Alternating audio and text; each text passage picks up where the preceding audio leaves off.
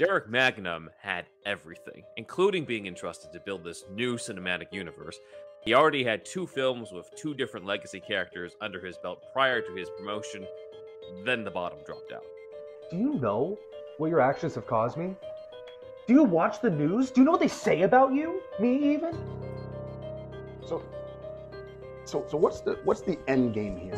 Why did you even want to see me? And that's why you have to focus on what you admitted you did. And you think I don't? No, I don't. You admitted to the behavior in the interviews. I heard his wife gone girled him. Did you hear about that, Ben? Why did I stay with him in the first place? We were a family. I am your dad, Matt. You were the reason I stayed. All I do is work, go home, and I watch old movies from when times were simpler. But even that's not all the way true. Sometimes I pull out old DVDs and I watch. 1977 bootleg stag film. No,